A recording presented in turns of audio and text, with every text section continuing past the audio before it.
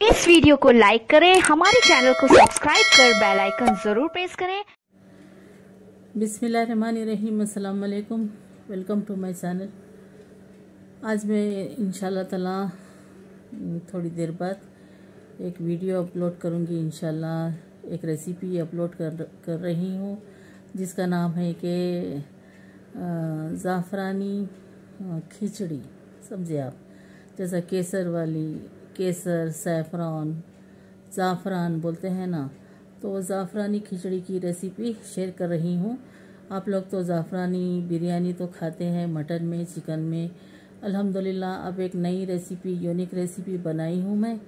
ज़ाफ़रानी खिचड़ी, बहुत अच्छी टेस्टी बनी थी, ज़बरदस्त। एक न्यू मेथड है यूनिक रेसिपी है इन ताला। आप लोग ज़रूर बनाइए, खाइए और एक दो रोज़ इंतज़ार कीजिए। और उसके बाद फिर मैं भुना खीमा भी रेसिपी अपलोड करूँगी इन फिर।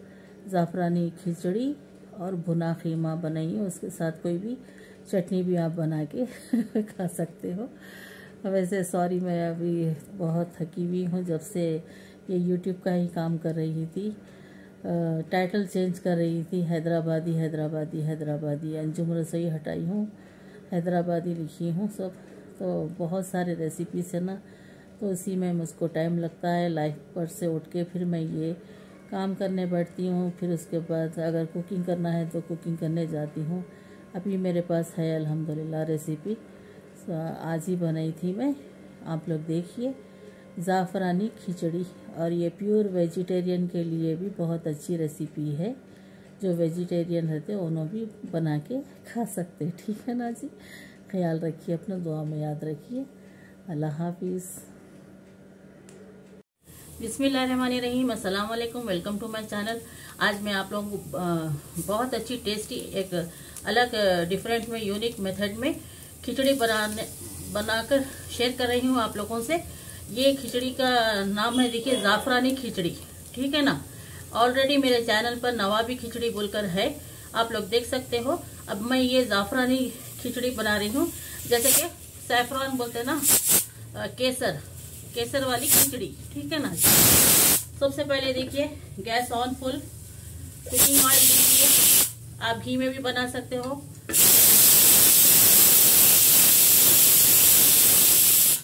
मैं ऑयल ऑयल डाल दी। यहाँ पर वन लार्ज साइज़ की अनियन को कट कर ली। मैं कट करके इसमें डाल देंगे। देखिए जी प्याज का कलर कैसा होना देखिए बिल्कुल ब्राउन होना।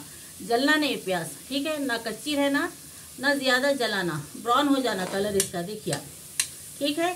अभी हम क्या करेंगे इसमें? आ, आप नमक आप अपने हिसाब से टेस्ट के अकॉर्डिंग लीजिए क्योंकि जो हम ग्रेवी बनाते खीमा वगैरह उसमें भी रहता ना।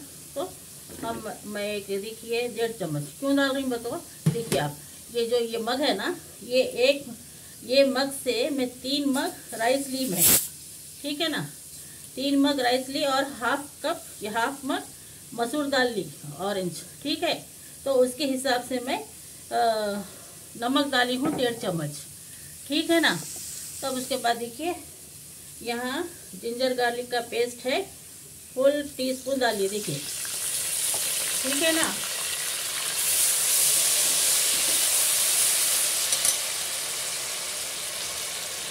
देखिए, अगर आप लोग टेस्टी खिचड़ी खाना चाहते हैं तो अनियन को अच्छी तरह ब्राउन कीजिए, उसके बाद जिंजर गार्लिक का पेस्ट डाल के उसको भी अच्छी तरह ब्राउन कर लेना, ठीक है ना? भुनेंगे ना तो उतनी अच्छी टेस्टी होगी और मैं इसमें हल्दी नहीं डालती।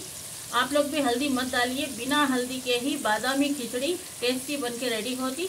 ऑलरेडी मेरे चैनल पर नवाबी बादामी खिचड़ी बोल के है, वो भी वेज में आती है, आप ज़रूर देखिए। जो वेजिटेरियन है, वो खिचड़ी देखकर बना के खा सकते हैं। ये भी वेज में ही बन रही है, ये भी आप देखिए, ठीक है?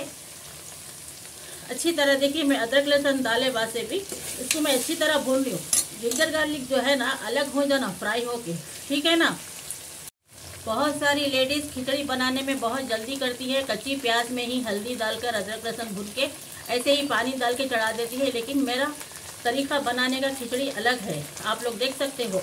मैं अच्छी तरह इसको भूनती हूँ। देखिए, ऐसा पूरा चेंज हो जाना कलर अदरक, लहसुन का प्याज का। ठीक है ना? तो हमको हल्दी डालने की ज़रूरी, ज़रूरत नहीं रहती। बिल्कुल लाइट ब्राउन कलर की बनती। ठीक है?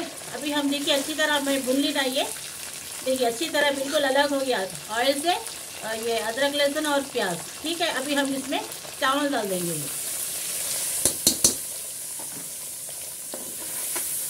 देखिए जितना खिचड़ी को भून के बनाएँगे ना, उतनी अच्छी टेस्टी होती।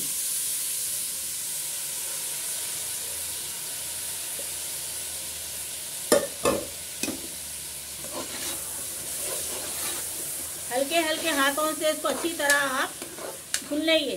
जो भी जितना भी पानी चावल में रहा ना तो वो ड्राई हो जाना, ठीक है? जब तक भुनना, चावल को अच्छी तरह हल्के हल्के हाथों से अच्छी तरह भुनिए। बहुत आसान तरीके से मैं आप लोगों को बताती हूँ और बहुत अच्छी टेस्टी बनती है। बन के एक बार ज़रूर मेरे तरीके से बनाइए। ये चावल का जो कलर है था ना, वो कलर ब्राउन हो जाता जो मैं खिचड़ी बनाती हूँ। हल्दी मत डालिए इसमें। हल्दी वाली खिचड़ी अलग होती है वो, जो कच्ची प्याज में अदरक लहसुन तल के और उसके बाद हल्दी नमक डाल के पानी डाल देते। फिर वो पानी बॉयल हो गया बस से वाटर चावल डालते। तो वो खिचड़ी में टेस्ट बिल्कुल भी नहीं रहता। ना हमारे पास वैसा कभी बनाए ये नवाबा बनाते ये खिचड़ी, ठीक है ना?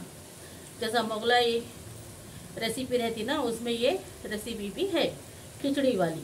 ठीक है ना? आप लोग भी इसी तरह बनाइए।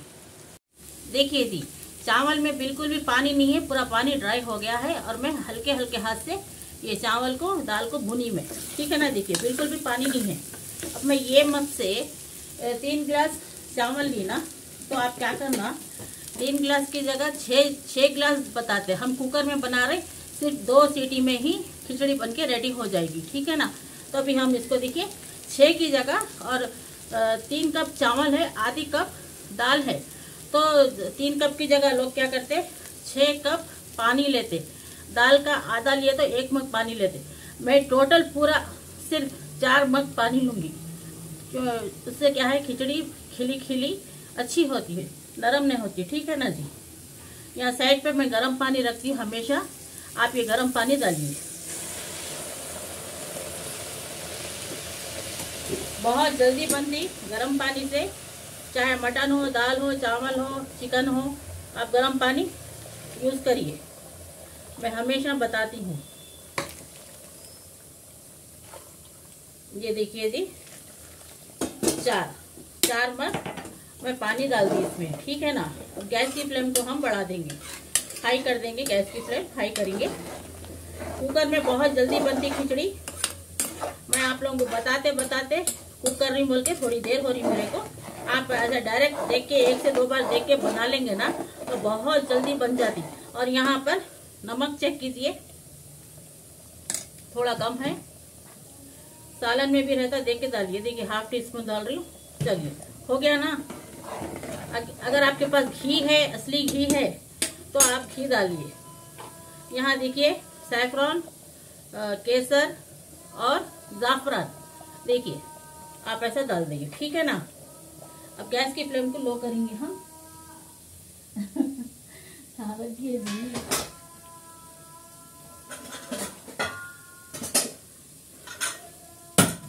देखिए अब हम क्या करेंगे? अगर आपके पास हरा धनिया डालते आप, पुदीना डालते तो डालिए, ग्रीन चिली भी डालिए, हमारे पास पसंद नहीं करते, इसीलिए मैंने डाल चलिए। गैस की फ्लेम को हाई कर देंगे, ठीक है ना? और दो सीटी होने दीजिए। उसके बाद ओपन नहीं करेंगे डायरेक्ट, दो सीटी होते गैस ऑफ़ कर देना, ठीक है ना? आइए देखेंगे, तीन सीटी हो गए थे, मैं बंद कर दी थी। अल्हम्दुलिल्लाह, अभी मैं आपके सामने ओपन कर रही ठीक है ना? पाँच दस मिनट मिनट के बाद ओपन करना, ठीक है? बिस्मिल्लाह। देखिए, बिना हल्दी डाले कोई कलर नहीं है, सिर्फ़ ज़ाफ़रान है इसमें। और देखिए, आप करीब से बता रही हूँ, देखिए, चार गिलास पानी लिए, कैसे चावल खिले खिले है। पानी बहुत कम लेना, देखिए आप लोग। और दो तीन सीटी में खिचड़ी कुकर में बन के रेडी हो जाती ठीक है ना? देखिए ये खिचड़ी बनाई मैं नाश्ते में अल्हम्दुलिल्लाह। और यहाँ भुना हुआ खीमा। ये दोनों रेसिपी में अपलोड करूँगी इन ताला। ये अपलोड हो गए जब देखे बसे बनाइए आप लोग। ठीक है ना जी? इसके साथ आप दही भी बगाड़ सकते है। मेरे पास। ठीक है ना? बगाड़ा हुआ दही बोल के रेसिपी है देख सकते डिश आउट करके दिखाती हूँ। ये देखिए जी मैं डिश आउट कर ली अल्हम्दुलिल्लाह। कितना प्यारा कलर आया। आ, केसर ज़ाफ़रान सैफ़रॉन हम जो डाले ना देखिए माशाल्लाह। अभी वहाँ विंडो से आ, ये धूप बहुत आ रही है ना देखिए ज़ाफ़रानी कलर ज़ाफ़रान। दिख रहा है आपको करीब से? बहुत अच्छा कलर आया। इसी तरीके से आप लोग खिचड़ी बनाइए। बहुत अच्छी टेस्टी होती। ये मुगलाई मुग़लों में जो बनाते थे पहले के दौर में नवाबा खाते थे वो खिचड़ी है ये। आप लोग असली घी है घी है तो डाल के खाइए। बहुत अच्छी टेस्टी दिखती। ठीक है ना जी? ख्याल रखिए दुआ में याद रखिए। चैनल को ज़्यादा से ज़्यादा लाइक शेयर सब्सक्राइब कीजिए। सपोर्ट कीजिए अंजुम रसोई का। और मेरे शॉर्ट रील्स भी पूरे देखिए। लाइक शेयर सब्सक्राइब कीजिए। और ये कुकिंग के जो रेसिपी के वीडियो है, वो फुल वॉच कीजिए। और लाइक शेयर सब्सक्राइब कीजिए। ठीक है ना जी? ख्याल रखिए अपना। अल्लाह हाफिज़। मैं ये शॉर्ट रील में दोनों खीमे के, खिचड़ी के, हर रेसिपी के डालती हूँ मैं शॉर्ट रील में। आप वहाँ पर भी शॉर्ट रील में भी लाइक करिए और एक अच्छा सा कमेंट कीजिए और शेयर कीजिए। अल्लाह हाफिज़।